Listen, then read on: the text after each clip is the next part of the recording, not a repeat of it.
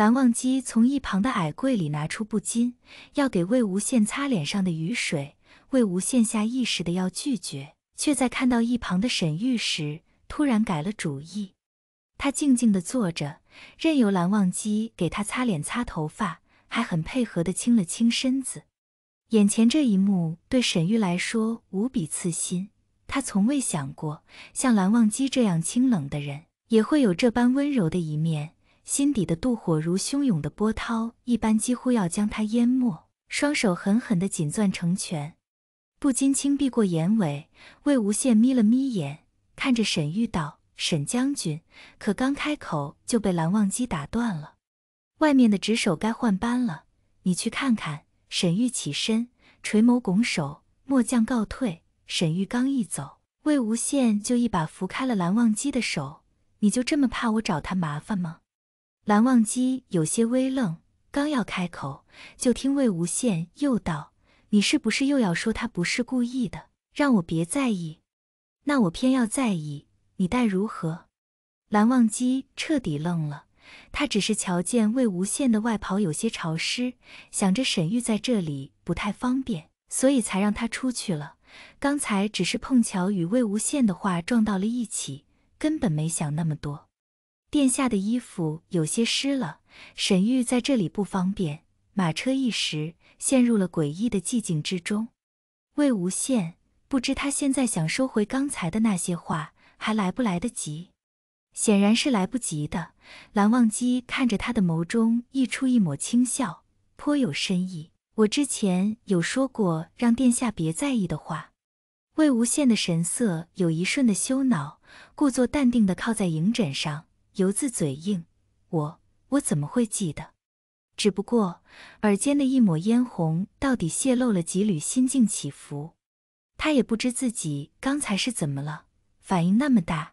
可一想到往日里蓝忘机对沈玉的一些不同，心里就不舒服。就算明白是因为沈月，他还是忍不住。他甚至想问问蓝忘机为什么要带沈玉出来，又转念一想，沈玉是蓝雨营的人。跟出来再正常不过了。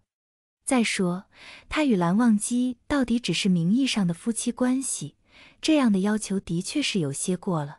想到这，心里一酸，被压制的那份情感又开始作祟，与理智撕扯不休。他深吸一口气，现在并不适合想这个。河间那么多灾民都还在等着他。魏无羡的情绪收敛的极快，方才还张牙舞爪的。如今却安静下来，一副淡漠的样子，似乎刚刚什么事情都没有发生。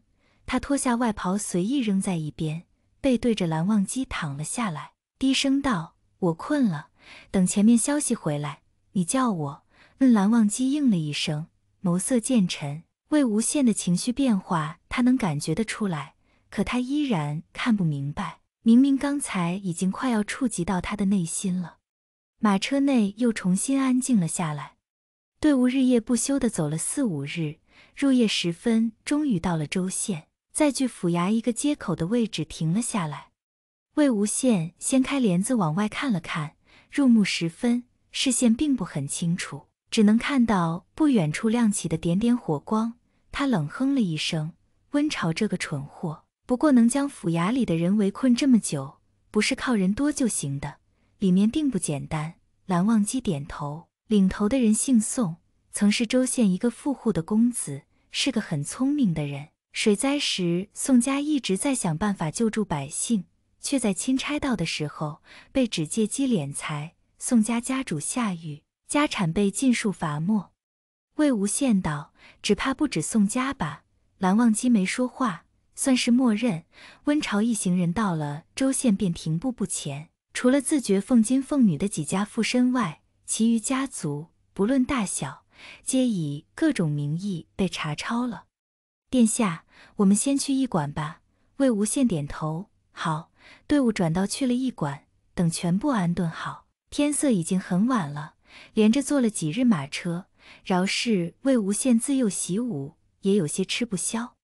暗暗偷瞄了一眼蓝忘机，见他神色如常。并无半点疲色，心道：到底是久经战场的，体力真不是一般的好。蓝忘机将倒好的茶放在魏无羡面前，累不累？要不先睡一会儿？魏无羡喝了一口茶，提了提神后说道：“不了，林月马上就到了，殿下放心，晚上的行动我会亲自盯着。”魏无羡一听，立刻道：“我也要去。”不可。蓝忘机想也没想就拒绝了。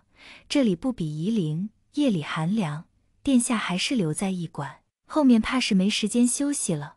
魏无羡还要再说，就听外头卫兵敲门禀道：“殿下，林副将回来了。”话音刚落，林月就从门外进来了，单膝跪的行了一礼：“殿下，将军，梁大人那边一切顺利，特遣末将回来复命。”魏无羡点头：“起来吧，辛苦了。”谢殿下。林月起身，目光在窗户和门上转了一圈，上前压低声音道：“一切都已准备妥当。”恩兰忘机微微颔首，丑时莫动手。林月垂首：“是。”外间小雨淅沥，夜色浓重，如墨轻覆。远处传来第一声鸡鸣。魏无羡依旧清醒着，望着床帐顶上的纹样。漆黑的眸子在夜色里看不出半分情绪。第二声鸡鸣刚落，房门终于有了动静。蓝忘机将沾了寒气的外袍脱了，又等了片刻，才掀开床帐上了床。隐约感觉身侧的呼吸声有些变化，于是转头一瞧，正好与魏无羡看他的眼神撞了个正着。怎么还没睡？魏无羡没说话，只是看着他。蓝忘机神色一软。替他掖了掖被子，一切顺利，睡吧，蓝湛。我在。蓝忘机低声应道。可等了很久，也没等到魏无羡的下文。房间里很安静，很快他就发现身侧的人睡着了。翌日一早，围在府衙周围的百姓一醒来，就发现紧闭多日的府衙大门大敞着，里面还飘出了久违的饭食香味，勾得他们原本就空荡荡的肠胃疯狂暴蠕动起来。人在极度饥饿的时候是没有多少自制力的，在本能的驱使下蜂拥而入。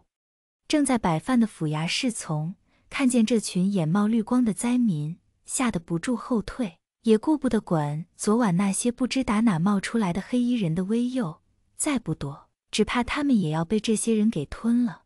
一大群人如蝗虫过境般，不过片刻，便将一院子的吃食给卷了个干净。吃饱喝足，接下来自然就该报仇了。可等他们冲到知县的院子，才发现人早都凉了，还有前来赈灾的那些个官员，没一个跑的。众人先是一愣，不等他们反应过来，一队身着铠甲的士兵就从外面冲进来，将他们围了起来。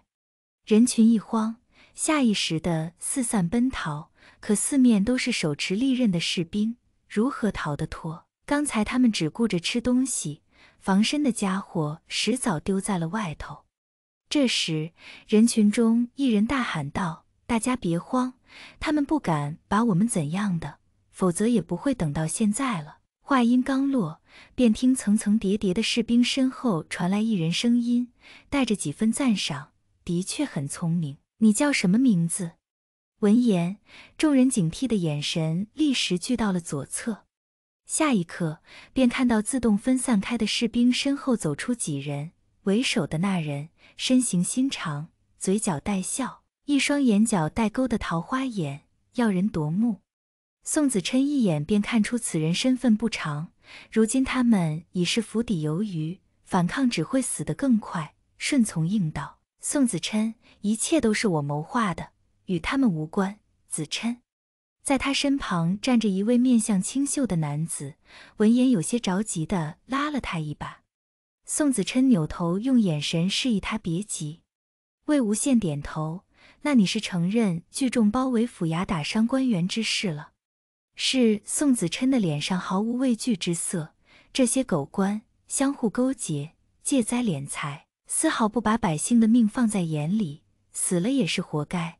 他一心为着身后的那些贫苦百姓着想，自己家的事倒是一句也没提。魏无羡不禁对他生出几分敬意来，正要亮明身份，就被一声哭嚎给打破了。温晁被人搀扶着，一瘸一拐的从后院过来了。来人，来人，将他们当即射杀，一个不留。人群中一阵不安的骚动。魏无羡轻声小声道：“下手是不是有些轻？他怎么这么早就醒了？”蓝忘机也小声回道：“他还有用。林月他们不敢下死手。”